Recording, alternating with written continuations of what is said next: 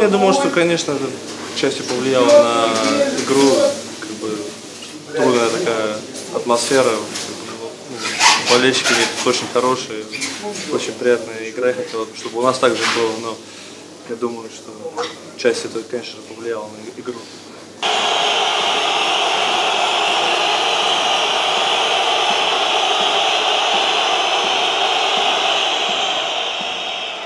То есть у них очень хорошая команда, я не скажу, что у них очень плохая команда, много хороших молодых игроков, которые э, делают то, что тренер просит. Вот, и, э, играя на их домашней арене, конечно, это им сильно помогает, дает им еще больше уверенности, что они пойдутся.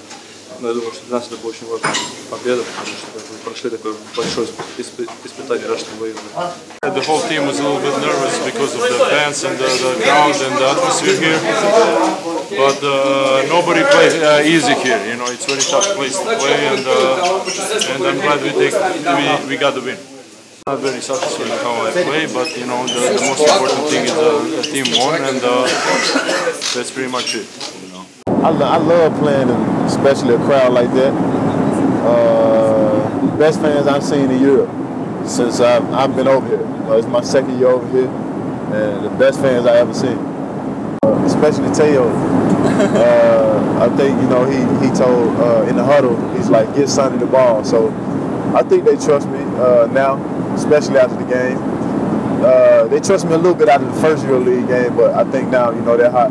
They put a lot more trust in me. I think Messina has a lot more trust in me, and uh, you know I'm willing to take on that role. So, well, actually, my agent he was joking with me, and he was like, he was like, you might well don't play basketball no more. You don't dunk no more. So, uh, I got three of them for him today.